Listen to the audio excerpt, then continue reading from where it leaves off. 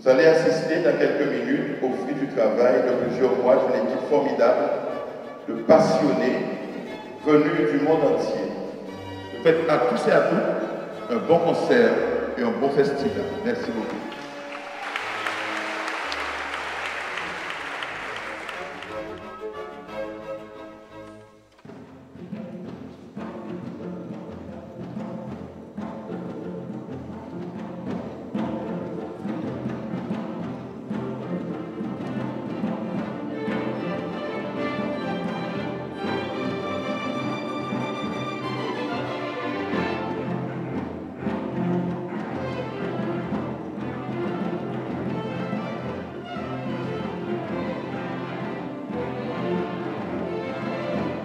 C'est un honneur que la musique traditionnelle guadeloupéenne, donc le gros K, euh, puisse rentrer dans un orchestre de, musique classique entre guillemets. C'est du gros K orchestré. C'est un honneur pour, pour la visibilité de notre musique. Cette soirée fait honneur au Chevalier Saint-Georges parce que euh, c'est un musicien qui a été découvert récemment, un musicien noir et guadeloupéen. Et euh, vu que je souhaite faire la musique mon métier, alors c'est une très bonne expérience.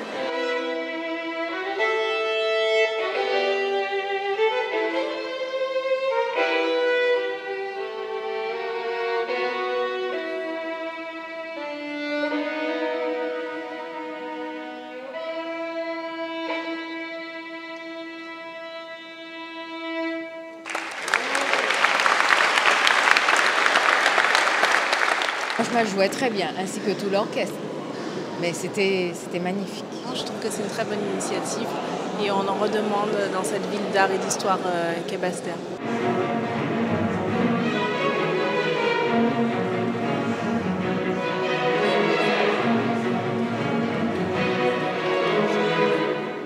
Pour moi, j'ai pas de frontières. Et certaines personnes pensent que, en fait, il y a la grande musique et puis les autres musiques, les musiques secondaires. Nous, nous sommes habitués à tout penser musique. Il y a des choses qui vous amènent, qui vous apaisent, d'autres qui vous réveillent, vous donnent de l'énergie. J'aime la musique. C'est tout. It's a huge success and it was fantastic. Oui, c'était un immense succès. On avait Jocelyne Berroir avec nous et je crois qu'elle a vraiment apprécié l'hommage à Jacob Desvarieux.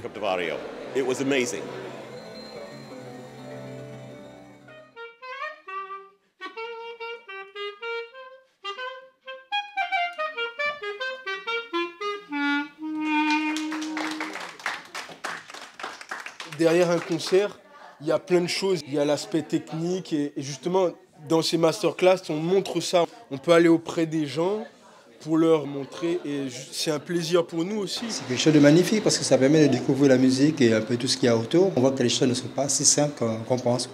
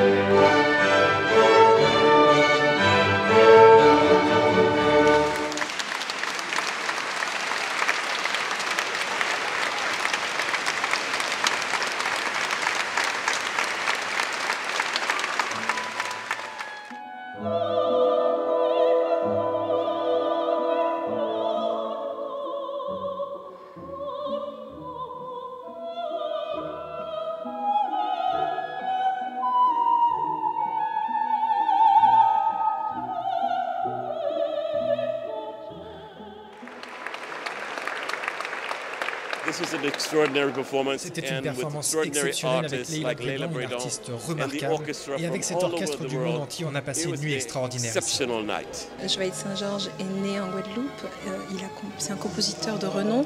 Et pour qu'on reconnaisse son travail, quoi de mieux que de, le faire dans, l'île, dans son île natale? La prestation de Madame Bredon qui est euh, exceptionnelle. Nous avons eu un public euh, chaleureux tout au long du festival. Des musiciens locaux se sont mêlés aux musiciens internationaux.